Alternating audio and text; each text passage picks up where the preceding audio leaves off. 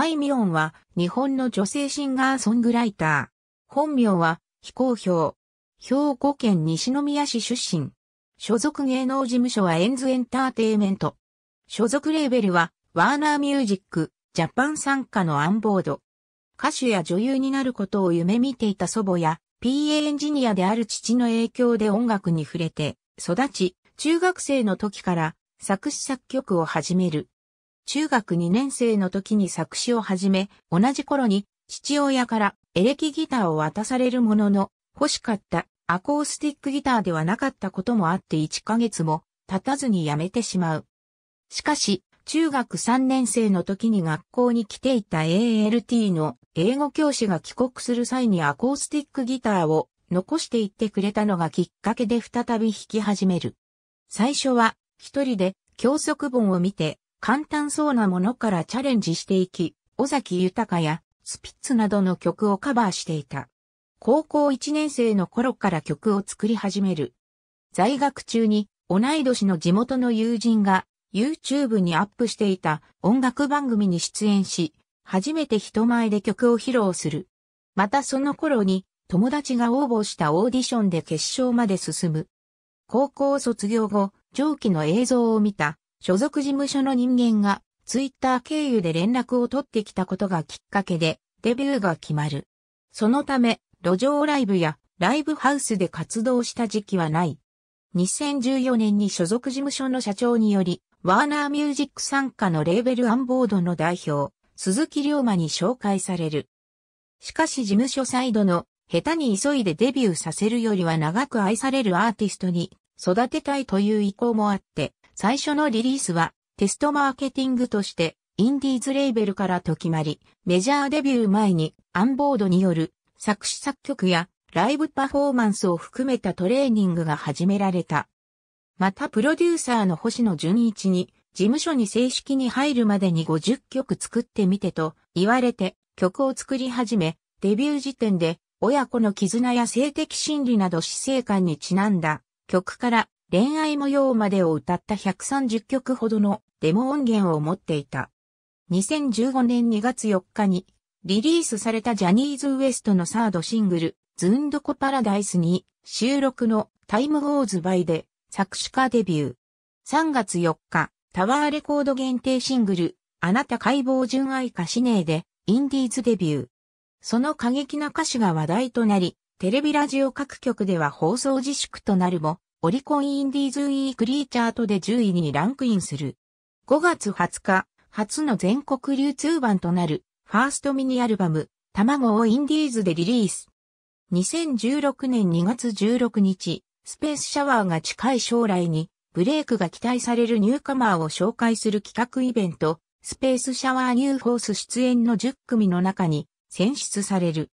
4月10日、アンボード設立5周年記念イベント、コカ・コーラプレゼンツワンボードフィフスアニバーサリーフェス2016において8000人の観客の前で初ライブを行う。11月30日、シングル、生きていたんだよなで、アンボードよりメジャーデビュー。デビューシングルには、スタッフ満場一致で女子高生の自殺をテーマにしたこの曲が選ばれた。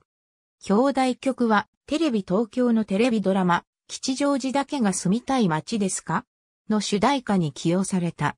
またデビューした日である11月30日をファンが、あいみょんの日、いいさおの日と語呂合わせをした。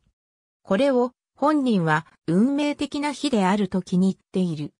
2017年2月4日に公開された映画恋愛期間集に初の映画主題歌となる漂白を書き下ろした。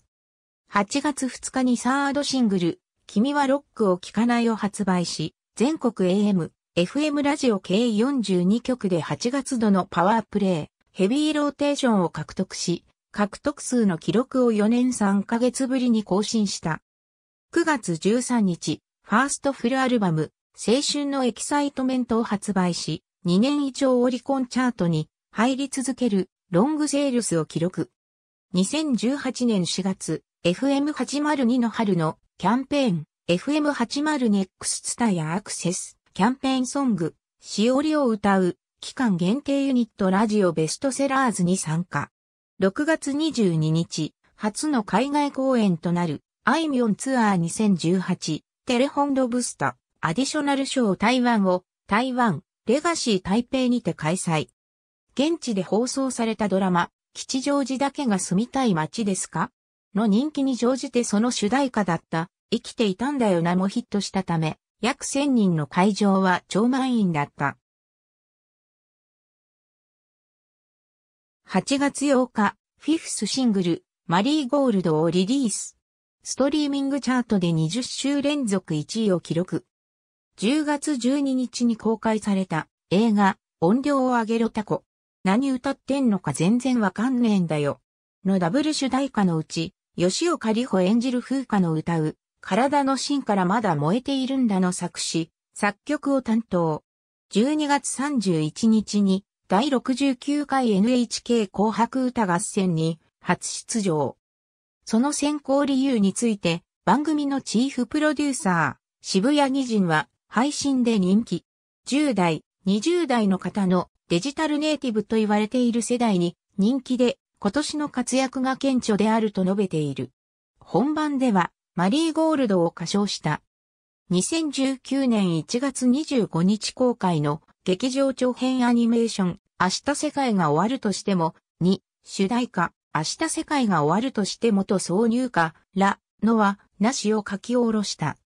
4月17日に映画クレヨンしんちゃん新婚旅行ハリケーンに失われた広し主題歌となった春の日をセブンスシングルとして発売。5月31日公開の映画さよなら唇の挿入歌誰にだってわけがある及びたちまち嵐の作詞作曲を手掛けた。歌唱は劇中に登場する小松菜奈と門脇麦が演じるキャラクターによる女性ギターデュオ、ハルレオが担当。10月から自身最大規模となるホールアリーナツアー、アイミョンツアー2019、シックスセンスストーリーマイナスを開催。2020年7月24日、日本放送にて特別番組、あいみょんのオールナイト日本を担当。アーティスト名である、あいみょんは、もともとアルバム、卵に収録されている、まるまるちゃんの楽曲のモデルになった友達から呼ばれていたあだ名である。台湾では、愛、僕のアーティスト名で作品をリリースしている。6人指定の上から2番目の次女。両親が21歳の時に生まれている。姉と妹は、それぞれ4人ずつの子供がおり、祖母は孫、ひ孫が合計28人いるという中学生時代は、陸上競技部に所属し、副部長を務めるほど部活一筋であった。勉強が本当に大嫌いである。高校を一回辞めた経験がある。